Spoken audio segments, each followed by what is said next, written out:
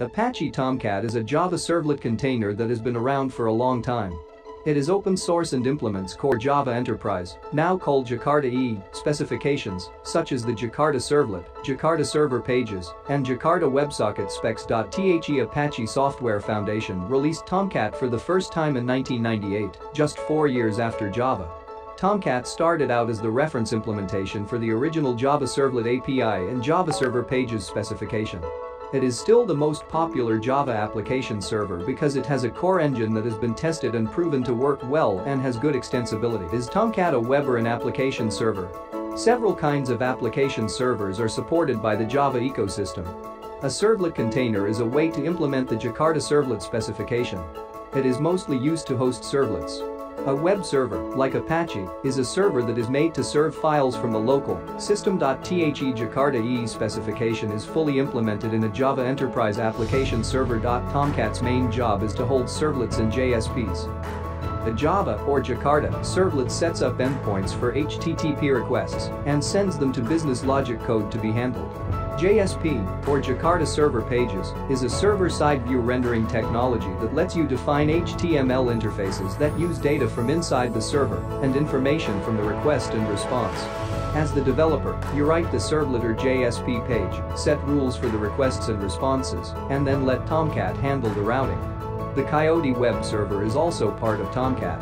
Coyote makes it possible to use Apache web server and Tomcat to serve static files. The Jakarta Persistence API is part of an extended version of Tomcat called TomEE. This version has a wider range of Jakarta specifications and features. Is Tomcat a web How to set up a program in Tomcat You will put your applications in the WebApps directory of Tomcat. There, you can put a WAR file, and Tomcat will run it.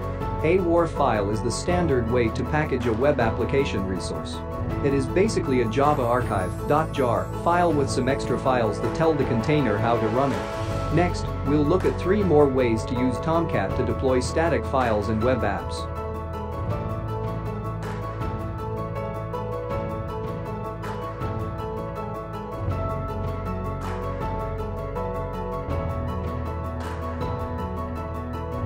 Exploded deploy a web application that hasn't been compressed into a WAR file is said to be exploded. This means that all of its parts are still laid out in directories and files. You can find some examples of how this is done in the WebApps examples directory of the Tomcat archive you just unpacked. With an exploded deploy, you can look at the files without having to worry about how they are compressed. By default, Tomcat also comes with a management application, which you can find at the manager path. This app lets you do a lot of things, like start, stop, and redeploy apps from a web console. Use Tomcat to do a reverse proxy. Tomcat can serve static files from disk, and it has the APR library to help it do so more efficiently. However, it's also common to combine Tomcat with the most popular web server, Apache HTTPD, to serve static files. Tomcat and the Apache server can be used together in a few different ways. The first is a reverse proxy, in which Apache handles requests for static files and sends requests for other resources, like WebApp, to Tomcat. The answer is then sent back to the client by the Apache server.